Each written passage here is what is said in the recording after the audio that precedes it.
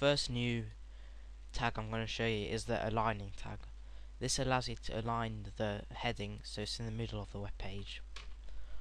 You could do this by going to the H1 tag, pressing spacebar, then typing in align equals speech marks center and you'd have to add it here but just make sure you add it to the beginning. That should then allow the he heading doc tutorials to be in the middle of the screen. To test it out you could save it save as. Do exactly the same as before. Put HTML save.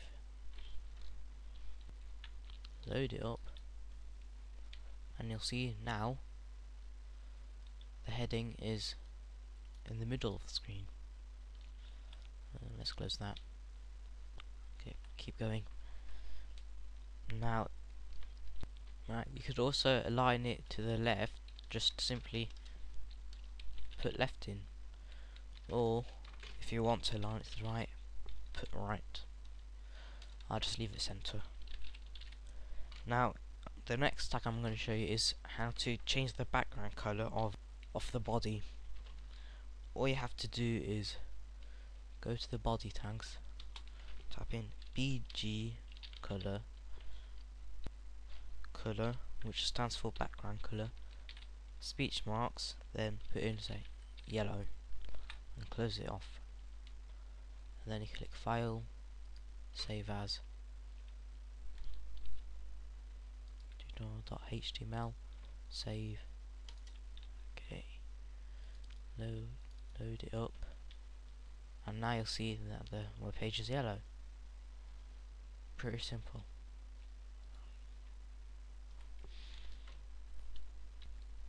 Now another tag that you could use is the href attribute. Now what this does is allows you to create a HTML link. Um, choose where you're going to put it. I'll put it under hello. Then you do the more than sign. Then put in a whoops not capital letters a space href equals speech marks and then you enter the link of the website you want to use in here. I'm going to use my YouTube account as a link. Then you close it off with the less than sign and then you put in whatever you want to call it. I'll call it YouTube this is what the user will see in your web page. Then you close it off with the anchor tag. More than forward slash a less than. Then to see what it looks like save it. Load it up. Then it'll look like this YouTube. Then you click on it and take you here so it works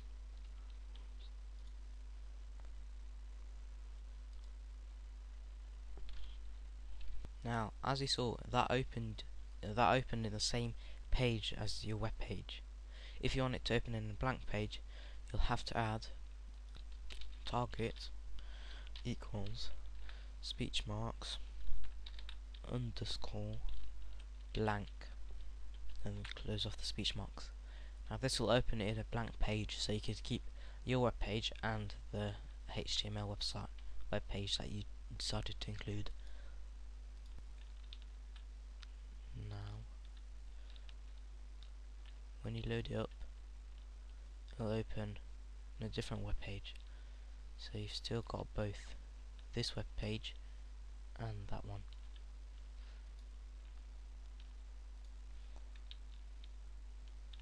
Now, one thing I forgot to tell you last time is that you don't have to use a notepad. You can use a H live HTML editor, but notepad is recommended if you want to become a proper website expert. Now, if you like, I'll show you how to make frames, but let's start a new pad. New. And it tutorial 2. Now this allows you to create frames so if you want uh, if you want to split up your web page in different sections start off with HTML again. Close it off with HTML and then in here you put in frame set. Whoops forgot to add the one sign frame sets space you add cols if you want columns or rows if you want rows. I'll leave as columns for now. Equals. Speech marks. Then you enter the percentage that you want the screen to split be split up into. So if you want 25% and the percent and then you want to split the rest of it in whatever's left what percentage is left over just add star percentage sign and then close it off with another speech mark. Then the less than sign. Then in here you could add you could choose which pages you want to be displayed in which columns. What you have to do is the more than sign frame space src which is sh short for source equals speech marks then you write in the name of the other web page that you want to use in this tutorial. So it's called tutorial so I put tutorial html close it off. And now I don't have another one so I, just rename it anything. Something then close it off. Now add another one even though I don't have that much. Or something else. Html and then you close it off with another frame set tag. Frame set. I mean. And a forward slash frame set. Then the frame file save as tutorial 2 more files. Html save. Then load it back up again. Then you'll see it's been split in screens. This is the one that we chose which is tutorial.html then since something.html and something else.html didn't exist you'll just get this. The web page cannot be displayed cannot display the web page and then and this is pretty simple way to split up all your screens your screen if you don't want it to be resized by the viewer, then you could add the no resize tags. Let's close this. What we do is add go to be, go between frame and SRC and add no whoops not capital letters no resize equals speech marks no resize. Close speech marks. And then you could add this to all frames but we leave it like that.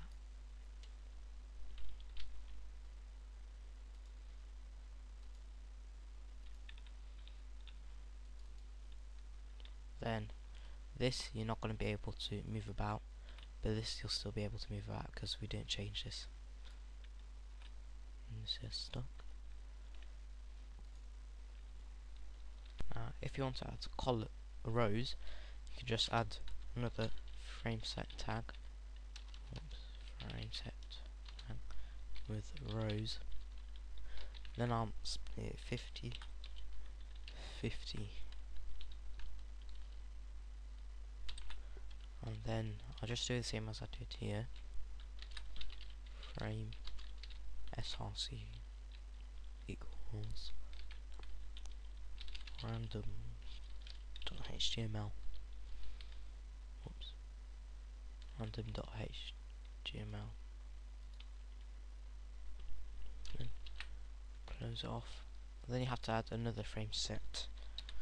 Closing tag. Since you've got rows and column. File. Save as save. And then your screen will split, be split up into four. As you can see you can't resize it since you can't resize this one. And you still resize this one then you could use this as your toolbar if you like. And then get rid of some of them use this as the location bar if you want. So there you have it think I'm running out of time so keep in touch and you'll soon find some more videos